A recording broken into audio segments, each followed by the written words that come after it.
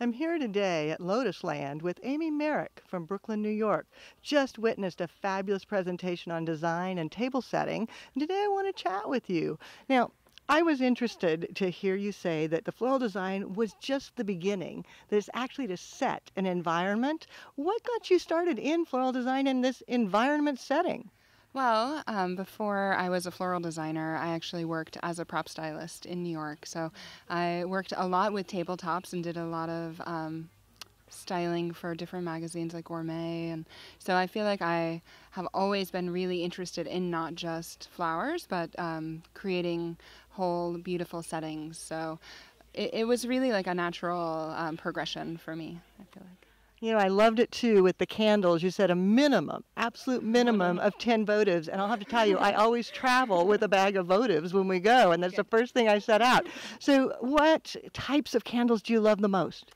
Well, I really love a mix. So I especially love taper candles like we have over here because I, I feel like they're like the most romantic kind of candle and they um, give you a lot of light at different heights. So that way if you just have only votives it's a lot of low lighting.